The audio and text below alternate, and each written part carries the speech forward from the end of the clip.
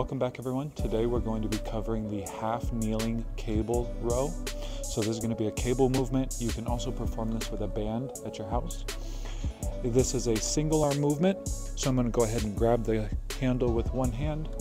Same knee down. So right hand, right knee. I'm going to stagger my stance. So that means that my left foot is not directly in front of my right knee. It's going to be off to the side a bit. Now, when I do this movement, I'm going to let my body fully rotate. My hips are going to close. The back of my hand is going to be up, so I'll be palm down in this position. And then when I row, I'm going to go palm up. My hips will open and I will reach for the stack. So it's gonna look like this. Palm down, fully rotate, hips closed, row, palm up, reach for the stack, hips open.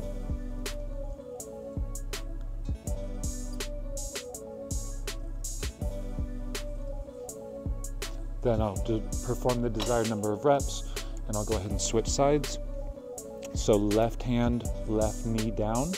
I will face the working arm, palm down, hips closed, row, reach for the stack, hips open.